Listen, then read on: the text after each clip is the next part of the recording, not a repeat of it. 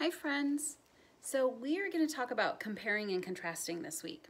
Um, if you remember, the tool that we use when we compare and contrast is a Venn diagram.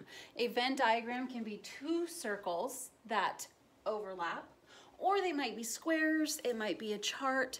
Um, all we need to really remember, and I'm going to move you for just a second, is that Comparing and contrasting, when we compare, we're usually looking at the things that are the same between two things.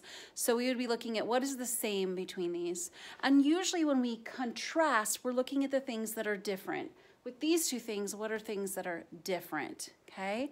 When we use the Venn diagram, we are usually taking two things. So let's just take apples, and I would put apples on one side, I'm going to compare apples and oranges. Okay? I'm going to compare apples to oranges. Now remember, everything on this side is all about apples. What's different about apples? Over here is what's different about oranges. It is only about oranges on this side, and this side is only about apples. Now remember that the middle where things overlap is what do those two items share in common? So what is the same about those things? All right, so let's take a look. Apples, they can be red, they can be green, they can be yellow. What about oranges? Yeah, you're right.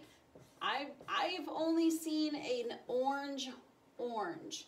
Now maybe they're not quite dark orange when they're um, ripening, but oranges are typically orange, okay? They're not red, they're not yellow, they're not green. What other things do they have that are different? Um, ooh, taste. They could be, ooh, sour. Ooh, hold on though. In my thinking aloud, oranges can be sour or sweet. Have any of you tried a green apple?